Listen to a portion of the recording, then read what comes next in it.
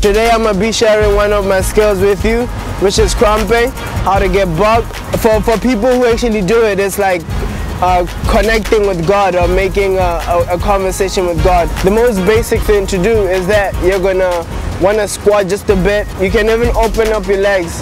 You can even like hold your pants a bit like you're about to do something crazy. But you can pay strict details to my dress code. You better have your flag cap on. Uh, the most basic thing in, in, in krumping is the chest pop. So what you're gonna do, you wanna uh, buck up for a stance and then you want to hit hard and then bring back your chest in kind of slow, right? So you're going to hit, slow, hit, slow, hit, slow.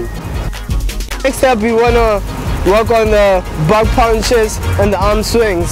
So you go on your stance and then you're, you're to do a little bit of Muhammad Ali punches where you make sure one hand is up and then your punch is lower. So you move against you move the the hands in the opposite direction. When you punch hit back this arm punch hit back this arm. And you can make slaps you can make fists you can make these buck fists you know? So you can basically go on your stance swing go on your stance swing you can take it from behind you can take it up up you can buck up while you're at it. Next step, we're gonna work on the stomping and the travels. You wanna scrape your foot and then stomp it hard to the ground, right? You can do both legs, scrape, uh, scrape, uh. You can just um, step and then step. You, you wanna keep that rhythm going. The travels is basically just moving from one point to another.